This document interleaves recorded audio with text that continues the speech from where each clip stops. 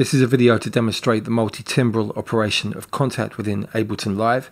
So we've got Kontakt loaded up and there are four instruments loaded, each on its own MIDI channel. So you can see here MIDI channel 1 on the first instrument, MIDI channel 2 on the second, MIDI channel 3 on the third, and MIDI channel 4 on the fourth.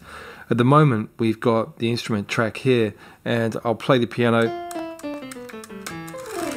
So that's on MIDI channel 1 what we want to do is have the ability to build up a sequence with those four instruments in Kontakt. So what we do, I'll show you, is we create additional MIDI tracks. So you say here, insert MIDI track. Let's do one more after this and we'll have enough. So you can see here we've got the additional tracks here. Now the Kontakt track that we have at the beginning is on MIDI channel 1.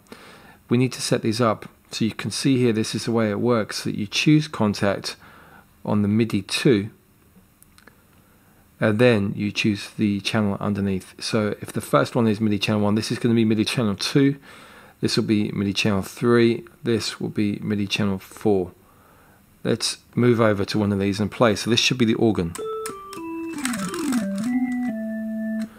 If we come to the next channel, we should be looking at the synth.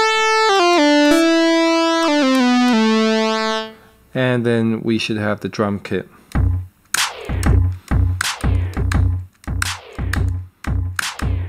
We're seeing the audio coming out over here on Kontakt because we haven't got any additional audio channels. But if we wanted to we could set these up as well. So inside Kontakt you'd have to deal with the routing. I mean on this instance at the moment there's only one stereo. So that's a separate story.